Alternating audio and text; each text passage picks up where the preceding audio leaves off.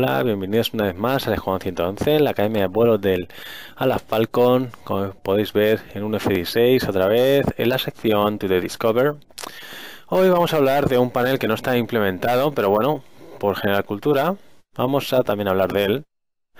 Nos llevamos el tracker y nos vamos al panel más retrasado.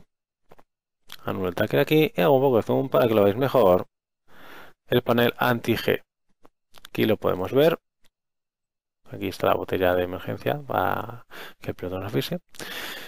Como podéis ver, este no está implementado en la BMS 4.33, no tiene mucho sentido realmente, pero se basa simplemente en un único botón que lo que va a hacer es el traje anti-G que lleva al piloto inflarlo. ¿vale? Vamos a hacer una prueba de que el traje y el sistema funciona. Podría ser que el traje estuviese pinchado, entonces, hombre, es un poco tarde para que el piloto diga tenga que ponerse otro, otro anti-G, que no consta nada más que, un F-16, en una especie de pantalón que no cubre toda la pierna, ¿vale? O sea, está abierto por los lados, pero sí, sí abraza lo que es los gemelos, los muslos y un poco del abdomen. Entonces, eh, tiene varias zonas en las que al pulsar este botón o cuando el piloto soporta varias Gs, se inflan, ¿vale?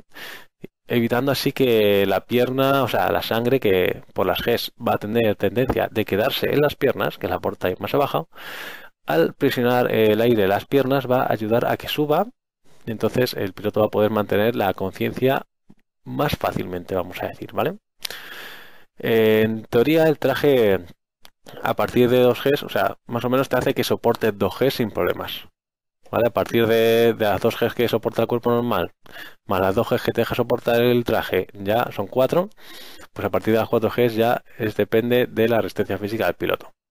Hay su entrenamiento, hay maniobras de respiración para aumentar eh, la conciencia, la ¿vale? O sea, a respirar más profundamente, haciendo más fuerza con tus, con los músculos del pecho, ¿vale? Eso también ayuda a impulsar sangre hacia la cabeza y la, idea es siempre llevar sangre a la cabeza, porque es donde nos vamos a quedar sin sangre, sin conocimiento y claro, todo esto lo que hagamos para llevar la sangre a la cabeza nos viene bien, como pilotos. Así que esa ha sido la clase de hoy, anti-G. Ya hemos visto varios paneles, así que espero que os haya, hayáis aprendido algo y nos veremos en la siguiente clase. Así que un saludo y hasta luego. No se te olvide darle al botón de suscribirse y de seguirme en las redes sociales para no perderte las últimas novedades de mi canal. En la parte inferior encontrarás los accesos directos a mis secciones y vídeos anteriores.